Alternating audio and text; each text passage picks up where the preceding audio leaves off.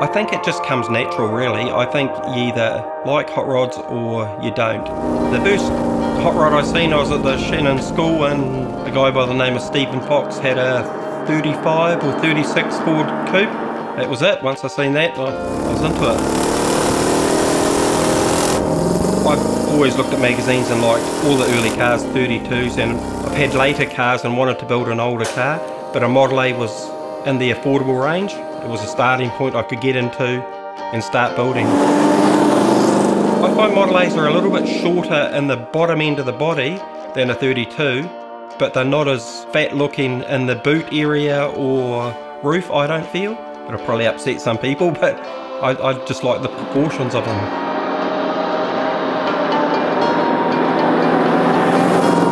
Wanted the car to look like a car, say a 40s style car that someone had thrown a Cadillac motor into in the 50s. That was my theme all the way along.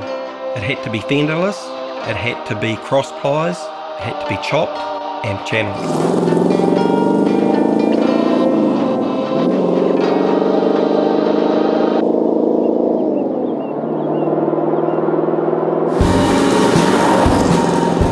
Motivation for it all has been a tight bugger. I thought the only way I'm going to get into it is if I have a go myself. The worst thing that I could have done was muck it up. So that's why I started doing it.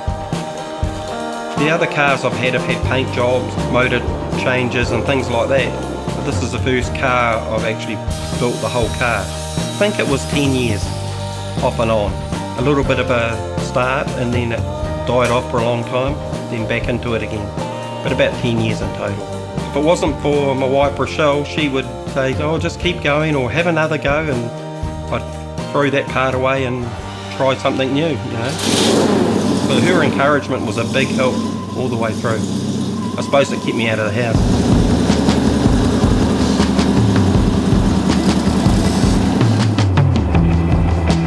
already had bought a sports coupe body from a local guy here, started to build the chassis, built a new floor for it and channeled that, then ended up with this body.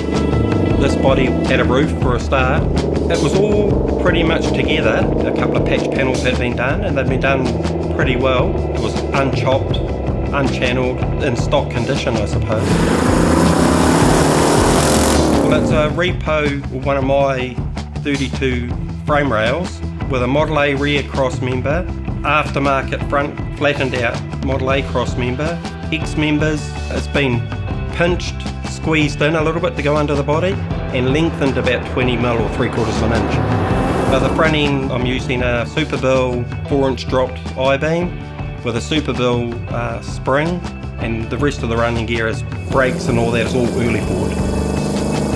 Originally I was going to go down the flathead track but after thinking about it for a while I decided that the Cadillac engine was really what I was after.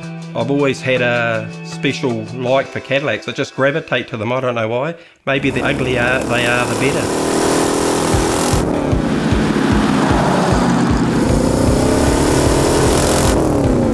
Channeled about two inches, I think, but I radius the front cowl up like the 32 does, so it sort of comes up to the height of the frame again.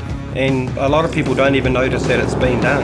Rear quarters are custom, I just put my own swages into those. Grill shell is a Vintique one that I've sectioned. The grill insert I just fabricated. I folded up some little channels and squashed them to make the bars. Then made the stainless uh, ring to go around the outside. I call it an autumn's grill because it's not quite a winter's. The interior is finished for me, but looks unfinished and that's the way it's going to stay. 38 dash that I welded to a Model A dash rail and shortened. A 39 steering wheel. All of the woodwork on the inside was made up out of whatever oak I could scrounge up. Uh, old oak headboards and wardrobes and tables and, and that's it. It's pretty simple.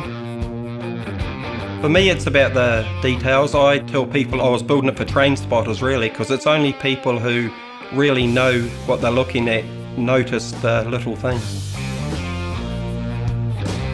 Everything has been done before, so you just sort of try your best, I suppose, and the end result may work out that you've got something a little bit different. You've got to stick to the theme all the way along. Don't deviate off it. Don't second guess yourself. It's easy to second guess yourself You'll be building a car forever if you keep on doing that. So once you've made a decision and built it, stick with it and it'll be alright then. Problem solving is fun. Not at the time, but if you sort it out, it's fun.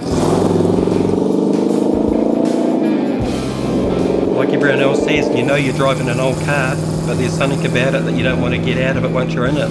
I wanted it to be a traditional car, and it's hard when everyone's telling you you need disc brakes, you need radial tyres, to stick to what you want to do. It feels alive.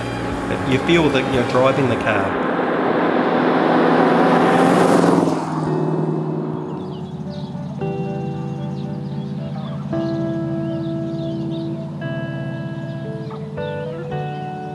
definitely a sense of achievement and every time I walk into the garage I'll look and go wow that's cool.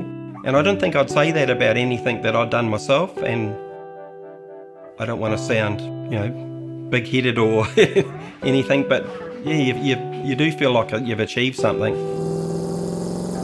I think once you've built a car people who've built a car know how much work's involved and you appreciate what other people have done in the past. I don't think you'll ever really know what they experienced, but you have your own ideas or thoughts of what they may have experienced, so you're trying to create that, I guess. I think hot rodding to me is about having fun. If you're not having fun doing it, then don't. It's got to be fun. I don't think I'll ever lose the bug. I don't think I'll ever be a vintage car guy or a classic car guy. I'm not a petrol head, I don't call myself a hot rodder.